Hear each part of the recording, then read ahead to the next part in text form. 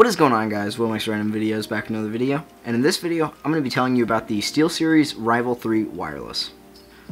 So, starting off with the specs of this mouse, we have an ambidextrous, ambidextrous gaming mouse, weighing in at 106 grams, 95 grams if you only put one of the batteries in, constructed of ABS plastic. Housed inside that ABS plastic, we have a set of SteelSeries mechanical switches rated at 60 million clicks. Housed in that same shell, we have a TrueMove Air sensor capable of reaching 1800 or 18,000 DPI.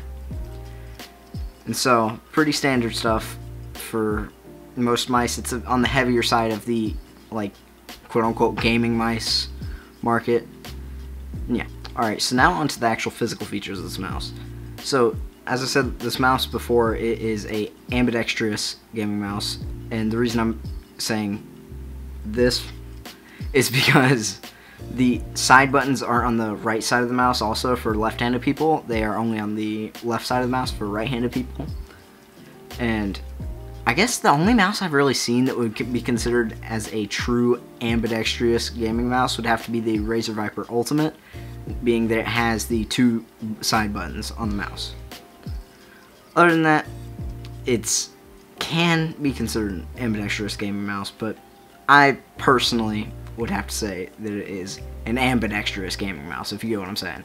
Now, on the top of this mouse, we have the one zone of RGB that turns off whenever you move the mouse and the default setting of the SteelSeries software.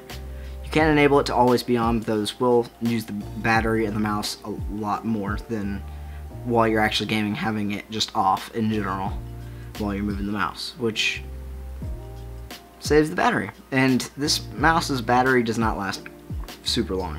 But flipping it over to the bottom of the mouse, we have a switch to switch from Bluetooth to off, then 2.4 gigahertz.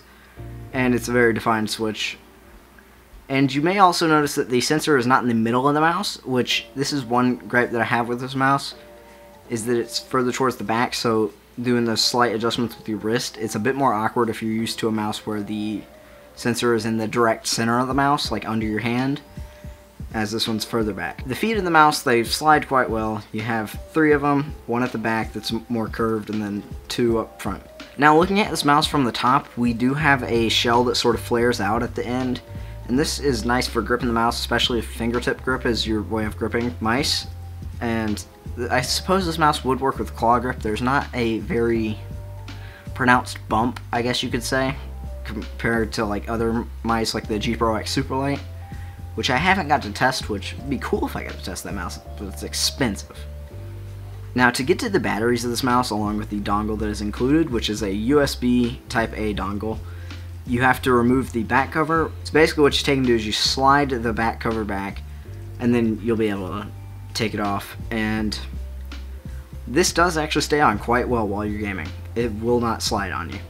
Now the actual side buttons of this mouse do flare out quite nicely to your hand. Like they're easy to press, and you shouldn't be.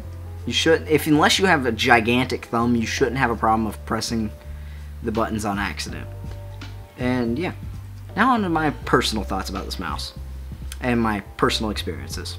So one problem that I have noticed over time with this mouse is the left click has depreciated a good amount lower than the right click. Personally, I play a lot of Valorant though, so you're mainly using your left click more than your right click in a lot of situations, and so it is depreciated a good amount. And as I was talking about earlier with the sensor being located further back, it's easy to get used to. You just have to take some like time to play a little bit of aim lab or something, and then you have no problem whatsoever. It's quite easy to get used to, and if that's the one reason you were thinking that this mouse wouldn't be a good mouse for you, it's it's not that big of a problem. It's perfectly fine.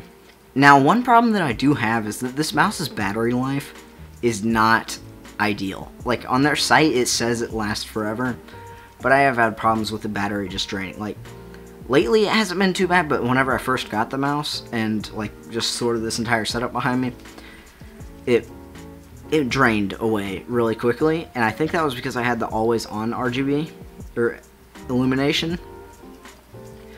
But if you have it on the setting where it just has the illumination on whenever you're not, like, using the mouse, Shouldn't be too much of a problem for you. And then one thing that I really hate with this mouse is that is it goes into a sleep mode, right? Which you can adjust when it goes into a sleep mode. But it goes into a sleep mode and then you have to click to wake it up. You can't just slide the mouse around to wake it up because it will not wake up. You have to actually physically click or hit the scroll wheel or something. And oh my gosh, that is annoying. If you made it to the end of the video, I thank you. Be sure to leave a comment if you enjoyed or maybe your opinion on this mouse, if you own this mouse or something that you saw in B-roll or whatever whenever I was moving the mouse around. But yeah, be sure to leave a like and subscribe if you're new, and I'll see you in the next one, and good bye!